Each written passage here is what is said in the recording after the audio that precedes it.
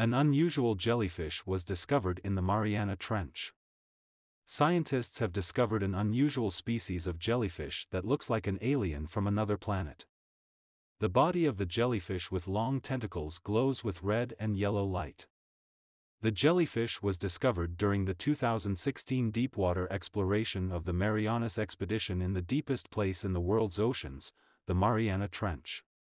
The Mariana Trench, whose depth is 10,994 meters, is a little studied place due to the complexity of its exploration. Scientists captured a jellyfish on video at a depth of approximately 3,700 meters. It belongs to the genus of jellyfish.